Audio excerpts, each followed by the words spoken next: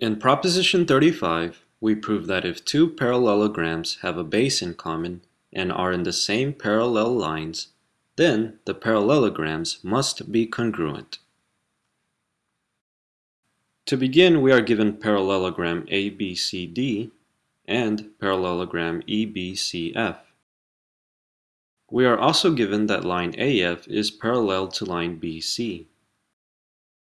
Now since we have parallelogram ABCD, by proposition 34, line AD is congruent to line BC.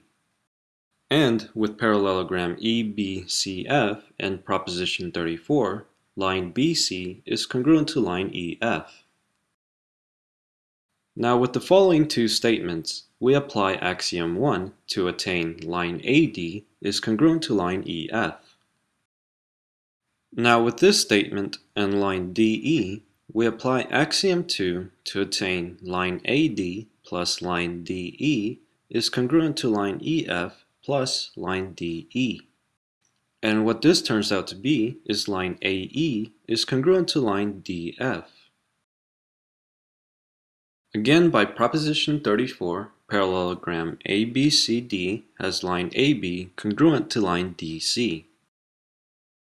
Now notice that the parallel lines AB and DC are intersected by line AF.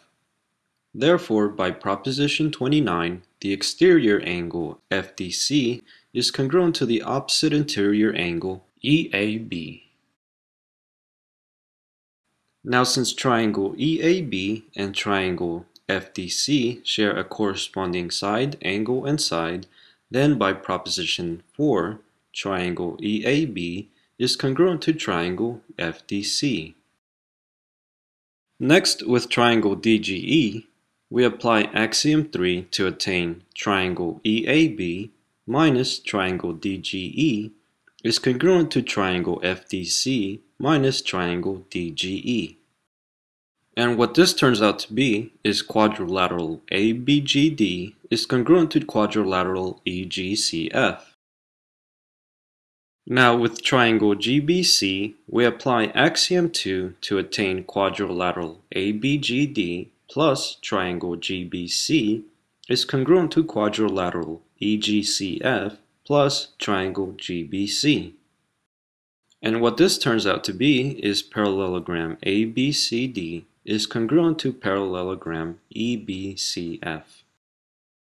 Therefore, we have proven that if two parallelograms share a base in common and are in the same parallel lines, then the parallelograms are congruent.